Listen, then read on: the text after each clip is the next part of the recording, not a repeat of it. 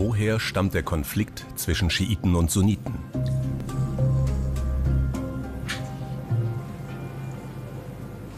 Medina im Juni des Jahres 632. Im Haus seiner Lieblingsfrau Aisha ringt der Prophet Mohammed mit dem Tod. Niemand weiß, wie es ohne ihn weitergehen soll. In dem Moment, wo eine so mächtige Überfigur wie der Prophet möglicherweise im Sterben liegt, werden natürlich alle nervös. Denn die Nachfolgefrage ist nicht geregelt. Und das hat zu allen Zeiten in der Geschichte natürlich zu Konflikten und zu Kriegen geführt. Schnell bilden sich Allianzen. Ein Lager formt sich um zwei erfolgreiche Heerführer und Gefährten des Propheten. Aishas Vater, Abu Bakr. Und Omar ibn al-Khattab.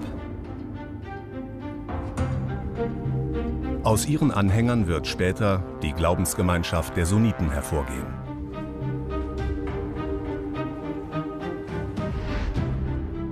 Im Mittelpunkt des zweiten Lagers steht Mohammeds Cousin und Schwiegersohn Ali. Als nächster männlicher Verwandter wäre er der natürliche Nachfolger des Propheten. Seine Anhänger bilden die Shiat Ali, die Partei Alis, heute bekannt als Schiiten.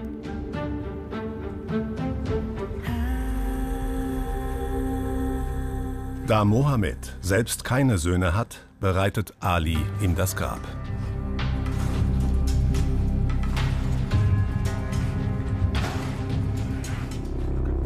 Währenddessen treffen sich bereits einige Stammesführer, um einen neuen Anführer zu wählen. Es geht um die Zukunft der islamischen Bewegung.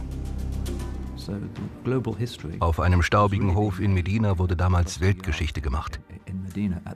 Auf der damaligen Entscheidung sollte die Geschichte der Welt basieren. Das ist keine Übertreibung. Alles stand auf dem Spiel. Tatsächlich droht die gerade erst geformte Gemeinschaft der Muslime auseinanderzubrechen, weil sich die Stammesführer gegenseitig nicht über den Weg trauen. Ali ahnt nichts von der Zusammenkunft. Oder aber er rechnet vielleicht damit, als engster Verwandter automatisch Mohammeds Nachfolger zu werden. Doch niemand scheint auch nur an ihn zu denken. Als Abu Bakr, Omar als Nachfolger empfiehlt, lehnt dieser ab und macht einen Gegenvorschlag. Dann steht Omar auf und sagt, strecke deine Hand aus, Abu Bakr, und ich schwöre dir meine Treue als Nachfolger des Propheten. Abu Bakr streckt die Hand aus und Omar leistet den Treueeid. Es ist einer der Schlüsselmomente der Geschichte. Abu Bakr wird von der überwältigenden Mehrheit der Muslime als Khalifa Rasul Allah, als Nachfolger des Propheten Allahs anerkannt. Durch Omars Geschick wird Abu Bakr zum ersten Kalifen.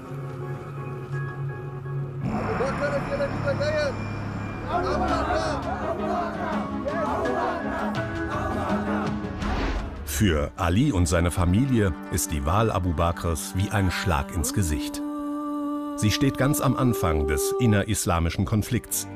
Denn die Schiiten erkennen den Kalifen nicht als ihren rechtmäßigen Führer an.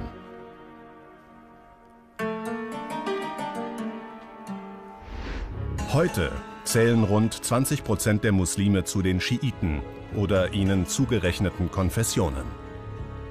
Das Gros bilden die Sunniten.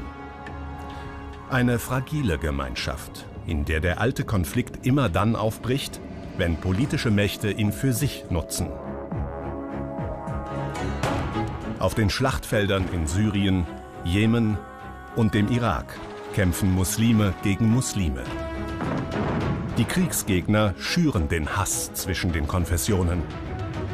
Ein Ende der Gewalttaten scheint nicht in Sicht. Dabei wünschen sich viele unter den Schiiten und Sunniten nichts mehr, als in Frieden in ihrer gemeinsamen Heimat zu leben. Mehr zum Thema gibt es auf der Terra X-Seite in der ZDF-Mediathek.